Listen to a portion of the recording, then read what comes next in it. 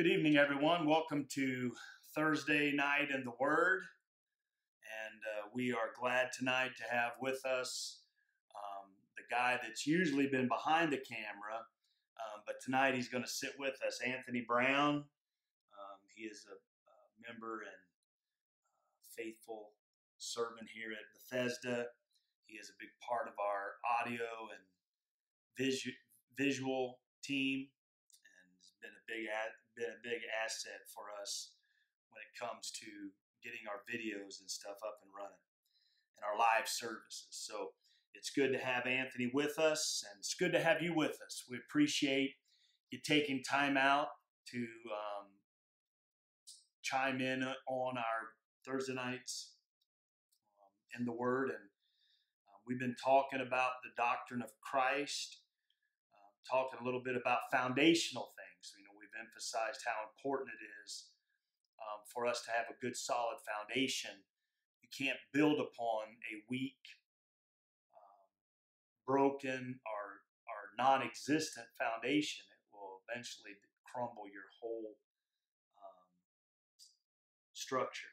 And so we we know these are very important. We've talked about faith toward God. Now we're dealing with the doctrine of baptisms. And tonight, Anthony and I are going to talk a little bit about um, you know the doctrine of baptism and deal with water baptism. You know what um, what is um, water baptism, what it's about, and the importance of it. How important water baptism is. And you know today it seems like that it's been kind of de-emphasized. Uh, it's almost like it's Anthony. It's almost like it's optional today instead of essential. What what what what do you think um, about water baptism as an option? Yeah, it's it's been interesting to me. It seems like as I've grown in my walk with Christ and in in this Christianity, that it has been de-emphasized, and it seems like it's been put as more of an option today, and not a command of obedience or something that we have to do or something that we should do um, but as a new Christian, somebody coming into Christianity, they're they've received salvation. I think it's important that it's taught immediately. The next step is baptism, um, and here's why. In Acts two and thirty eight, Peter said to them, "Repent and let every one of you be baptized in the name of Jesus for the remission of your sins, and you shall receive the gift of the Holy Spirit." Um, that tells me that Jesus is telling me you need to be baptized. Yes, agree. And, and I think I think that a lot of times, you know, we um, we have because I think we want to be too sensitive or we want to be um, uh, we don't want anybody to feel any kind of pressure or we don't want people today to feel any kind of obligation but really and truthfully if we are truly born again then it's not a have to it's a want to you know, I, I think that's a huge difference today and and and what I see happening in the church. It's a matter of people feeling like, well, I don't want to, or I don't have to, or I shouldn't have to, and you know, and all that kind of stuff. But really and truthfully, when we receive Jesus Christ into our hearts, it's not a matter of I have to. You know, I, I never, I never once felt like, man, I have to read my Bible, or else I'm not going to be uh, a good Christian, or man, I have to go to church or I'm going to, you know, um, be a backslider or something of that nature. Um, you know, I have to go to revival meetings. I have to go do this or I have to sing songs or um, those type things. And I, I, I don't think that that should be our desire at all. And I think if we, if that is where we are, that we feel like something is uh, an option for me or I don't have to be obedient or I don't have to do this we should have i think we should check out where's our heart at. When we wrestle with doing things that are clearly biblical because as you said water baptism is a command not an option. Repent and be baptized every one of you in the name of the lord jesus and you shall be saved. And so i but i think one of the reasons that people feel like that it's an option so to speak is because I think of the injustice that leadership has done to water baptism. Because we've made it out to people like it's just a ordinance or it's just a ritual thing that we do. And, you know, like other things, you know, we've made communion, um, you know, sharing communion like we've done in the church for all these generations. It's, uh, it's a ritual when we all know, no, it's not a ritual. It's not just an ordinance, um, but it is uh, something that the Lord has commanded us to do. He says, as often as you do it, do this in remembrance of me. Same thing with water baptism. Jesus was our testimony before Christ made his appearance on um, John's baptism there. John was baptizing people unto repentance. And Jesus came in and John wanted him to baptize him, but Jesus says, No, it's it's important for me to baptize you. And so baptism is important in, in the process and aspect of our salvation. Yes. Um, when you think about the saving value when you think about that saving value, what do you feel like that baptism is a part of saving us from? Well, I think it's saving us from ourselves in a way, in a way of it's easy for us to disobey, it's easy for us to get away from what is reality. And when we step into Christianity and discipleship and leadership, it's our job to teach the importance of these commands. Um, and when we do see a new Christian and to teach them, hey, it's time to get baptized, let's get busy. Um, and I think it saves us from ourselves because I know I went through times where I did exactly what you were just talking about, where I, I would read the Bible because I felt like I was supposed to. I would I got baptized because I thought I was all. supposed to. Um, I didn't do it because I wanted to. I did it because I thought I had to. And I think true repentance is just like you said, you want to do it and you enjoy it. Mm-hmm. Yeah, I, I uh, uh, want us to be mindful of um, what baptism really does. Um, you know, the Bible teaches us in Exodus chapter 14, he talks about the children of Israel um, who um, were in bondage slaves to Egypt and the Pharaoh, um, God sent them a deliverer and brought them out. And of course, we all know the story that children of Israel fled um, Egypt, and as they fled, Pharaoh changes his mind. God hardens his heart, and he wants to go pursue them and bring them back. And they get to the Red Sea, and here comes Pharaoh's army, and before them they have the Red Sea. And we know Moses stretches forth his rod, the sea parts, and the children of Israel cross across the Red Sea on dry ground. And when they get to the other side and is and Pharaoh's following them, the Bible says that waters begin to recede back and drowned the Egyptians. Well, in that passage of scripture there, um, you know, it, it, talks about how that um, they were baptized into the Red Sea and and so we we see that when we look at that, we look at how that took place and what was produced from that. They they were actually um, delivered prior to the Red Sea incident, but the Bible tells us that they were saved from that that vexed them by the waters of the Red Sea. So they were baptized into the Red Sea. So what um, happened to them was Red Sea, the Red Sea incident, the baptism that they took place there became an aspect of, of a part of their salvation, their deliverance. And, um, you know, we see First Corinthians 10 2 tells us that, um, and it says, and all were baptized into Moses in the cloud and in the sea. So, as, a, as an aspect of baptism, is more than just a good conscience toward God, but baptism delivers us from that that is vexing us.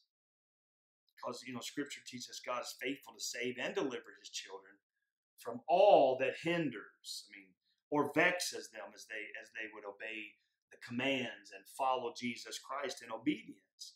Who do we follow? We follow his leading.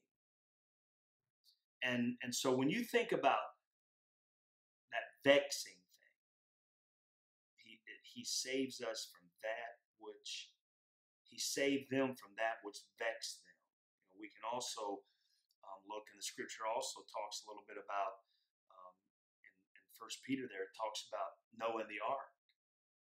It wasn't the ark that saved them, but it was the water, the flood, that actually saved them from those who vexed them when you think about that vexing, that, that's important to yeah. think about that.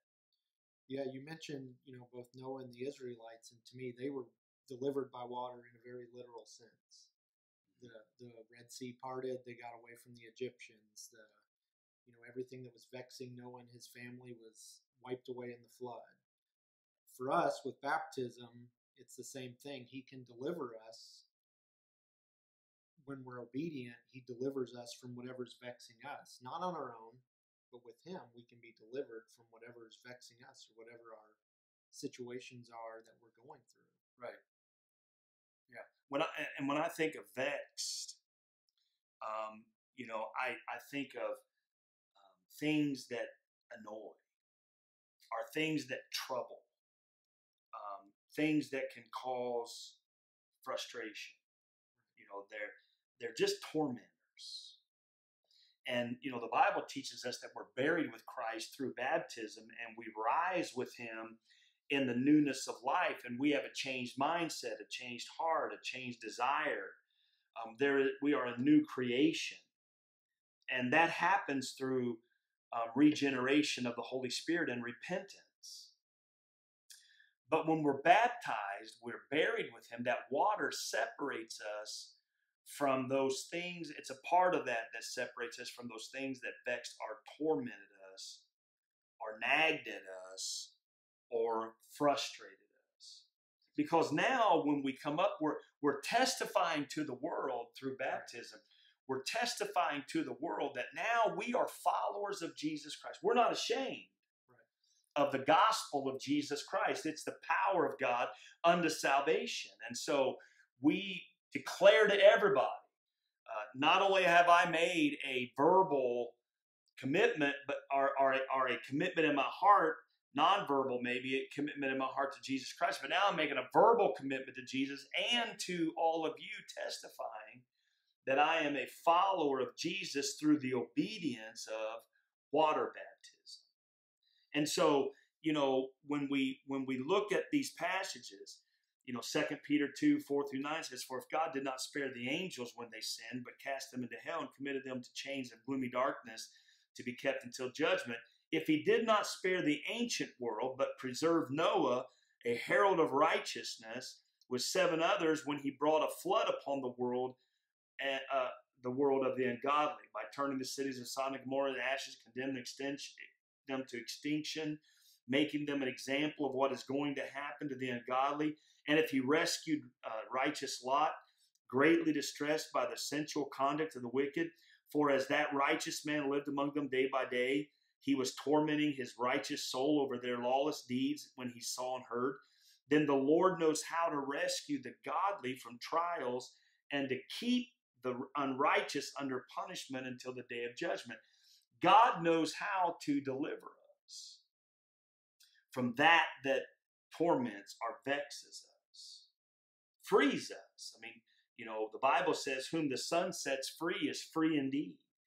And we are following through with that, as the scripture you said, Acts 2.38, through repentance, but also being baptized in the name of the Lord Jesus, because there is no other name by which man can be saved. There is no other name in which demons flee.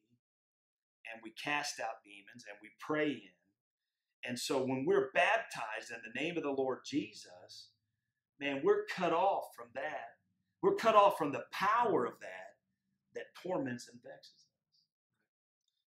And to me, it's interesting what you said there that God knows how to deliver us from those things because it's, I know sometimes I have no idea how to get out of situations or things that are just small annoyances, even that put me in a place that I don't want to be. But He knows how to deliver me from those situations, and that falls back to being obedient and you know putting our trust where it needs to be. Yeah, it's it's like you know, okay, God, you got this. I'm giving it to you. Yeah, and and I I think that's what we're saying when we really when we submit ourselves to being immersed in water. You know, we're saying that um, we want the control of our lives to um, be put into your hands. Yes. And we're testifying to everybody. Um, we give up. We surrender. Um, you know, and that that was the case. You know, with Noah and his family. I mean, Noah had no evidence of floods, had no evidence of rain. Matter of fact, it only had been a dew, a mist, um, that they experienced. So he goes out and he builds this enormous boat, which you and your family just went and seen the ark. And yes. so, you know, what a what a what a real good time to talk about this deliverance because you actually walked in that thing. But he builds this gigantic boat and mocked and ridiculed, made fun of. And he he goes on and he enters into they him and his family enter this ark with the animals that God brought. But yet it didn't sink in until the rains came and it started to flood. And, and the flood waters carried them away from those that were their tormentors. You know, because the Bible says that men's hearts and minds were on evil continually. And so they were set free from that, and God delivered them from that through the waters of baptism and brought them to safety. And what a huge form of obedience that took to build that giant ark with no evidence we think it's a huge form of obedience to be baptized. I mean, you know, it's it's it's just it's just amazing, you know, what God wants to do with a life when we when we are obedient to Christ to follow after what He talks about in the Scriptures. Um, that God so works in our lives through that obedience and brings us to a place of salvation deliverance and peace and joy that we could never experience on our own. We could never get to that place by ourselves. But just through us saying yes to Jesus' finished work and yes and in obedience to your commands, God, we're going to walk this out because we love you. That's that's to me is is a heart that's changed and now has been made new because why else would I do that? and and you know the scripture also teaches us by by your fruit they know you and and and so will we not ask ourselves if we are in a place to where we're struggling with obedience we're struggling with serving we're struggling with digging into the word we're struggling with this relationship with christ we have to ask ourselves what's going on what's wrong because the bible teaches us that those that have given their hearts to jesus christ you know them by their fruit so there should be a fruitfulness. Well, to me, one of the greatest aspects of fruitfulness is obedience. Even in obedience to Christ's command that I might not fully understand. When I can remember when I got baptized, that uh, when I first gave my heart to God at 18 years old, I didn't have no idea. I mean, they shared with us, they talked with us, they gave us the scripture about being baptized, but I I didn't have any idea. But my, in my heart, my desire was whatever I need to do, I want to be obedient. I, I know that whatever God wants to do in my life, He loves me and He's going to take care of it. I don't have to fully understand it, but I, it was important enough to know that God wanted me to be washed, washed in the blood of the Lamb, but God also wanted me to be uh, immersed and washed in the water purified to come up out of that water to follow him and to live for him um, and, and to allow God to direct my life. And so we, we see a lot of in the scripture, we could talk a lot in the scripture about, um, you know, the importance of washings. And, um, you know, you see it in Hebrews chapter 10, uh, 20, 22, it talks about, um, you know, the washings and Titus 3, 5, which, you know, talks about us uh, making sure that we are obedient to Christ and God knows how to deliver us and keep us. Acts 2:38 talks about repentance and baptism. So we, we can see where blood, water, and the spirit are working in our lives. The blood of Jesus Christ cleanses us from all our sins. The water um, uh, separates and, and, and keeps us from that that vex us. And the Spirit leads and guides and directs us into, you know, all truth. Uh, and so when somebody uh, wants to be water baptized, we need to think about um, what are what are the prerequisites for somebody to be baptized? I mean, should can can we just walk out here and just baptize anybody? What's but but I want to I want us to look at. I believe there's at least four prerequisites for water baptism. And ahead. The the pre the interesting thing about these prerequisites is when I'm reading over them and thinking about these things is you can't do one without the other. You can't skip and do this one first and then this one. They have to go in this order. Um, and that's the hearing of the word is a big prerequisite. Believing the word, Right. um, then your repentance, and then your obedience. Right. It's that's exactly right. Like um, you you said, the preaching of the gospel. Um, the scripture teaches Romans ten. He says, verse 14, 15, How then will they call on him in whom they have not believed? And how are they to believe in him in whom they have not heard? And how are they to hear without someone preaching? And how are they to preach unless they are sent? As it is written, How beautiful are the feet of those who preach the good news. And so it's, they have somebody has to hear the gospel. Faith comes by hearing, and hearing by the word of God. So somebody, in order to um, uh, first and foremost, in order to believe, they have to um, hear the gospel being preached. And, and then and then when the gospel's preached, they have to have a believing heart.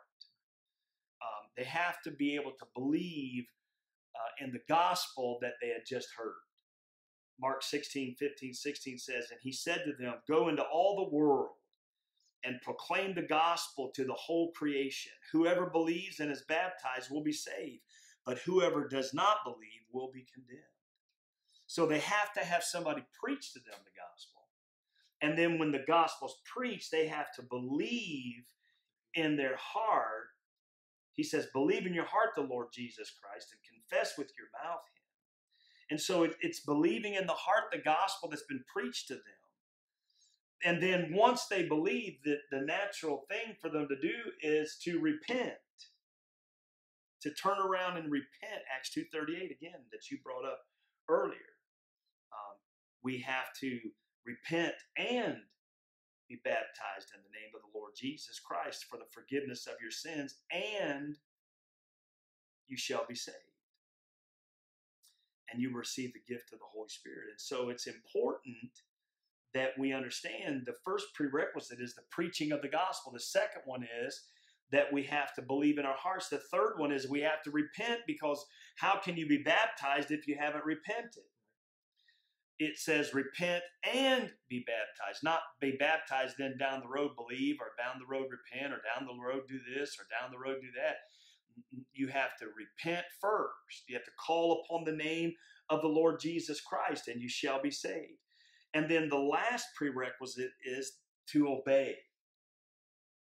I, think that's awesome how those are tied together. Preaching of the gospel, Yeah. believing in the heart, repenting of your sins, and obedience to that gospel. Because I think those work in line with the fruit that we're talking about, bearing fruit. Um, I hear the gospel preached. I believe in my heart the Lord Jesus Christ, so I repent. I, I believe, therefore I repent. Because if I believe but don't do anything, then have I really believed? So believing produces action. Passively, I can believe. But active side of faith is an action. And that action is repentance. Repenting of my sins to Christ and believing in, in that Jesus did that work for me.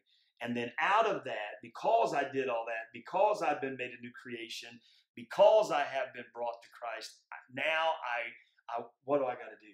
You've got to obey. That's the hard part, right? What do I? Uh, that, that should be what we. That should be what what we ask. Okay, now what do I do? Yeah. If if you and if you get your life changed, you want what now? What do I do? And not only that, for those of us that are already there, and not saying we're end all be all, but we've got to be ready to tell people, here's Oh, what yeah. you do next. Absolutely. Um, because we don't always know, and especially when we're young. Because that brings up another subject, but we can go off on a rabbit trail just for a minute. Because what are we all to be doing? He says, Go ye into all the world and do what? Make disciples. So when we have new babes in Christ, our responsibility is to make disciples, to teach and instruct them in the things of God. And so we automatically want to say to them, hey, have you believed? Have you called on Jesus Christ as your Lord and Savior? Yes, I have. Have you been baptized since you believed? Well, I don't even know what that means. Well, let me tell you about that. That should be our heart, our desire to tell people about the truth of God's Word so that they can have that same freedom and liberty that you and I have. That's that's an important aspect of what God wants us to do. Because when we talk about these four prerequisites, if you look at them, then it eliminates false doctrine that's out there that churches have believed in for as long as um, and way before you and I ever were, ever existed. They believed in these. For example, infant baptism, regeneration.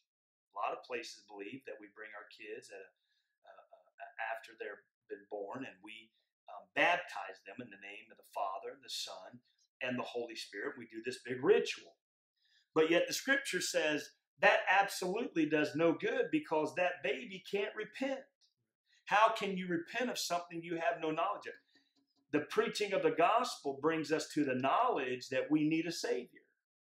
Well, how can how can my um, grandson, who who is still uh, four months old, five months old, how can he know he needs to repent? So, what good does it do to baptize him? Now, we can dedicate him to the Lord. Lord, we we we dedicate him unto you. We surrender him. We thank you for the gift you've given to us, and we do do those things. But it does no good to baptize a baby because the baby cannot meet the conditions um, of hearing and believing the gospel or even repentance. And then, and then we talk about the necessity for salvation. Scriptures show you must be a believer. If you if you can be baptized, then you lose the necessity to understand the need for salvation if you're baptized first. Or that baptism makes you a member into God's family through confirmation or something of that nature. And I think that goes back to where we started with this being baptism being more of an option and not a command and more of a ritual than something that we're commanded to do and that we need to do to further our walk with Christ.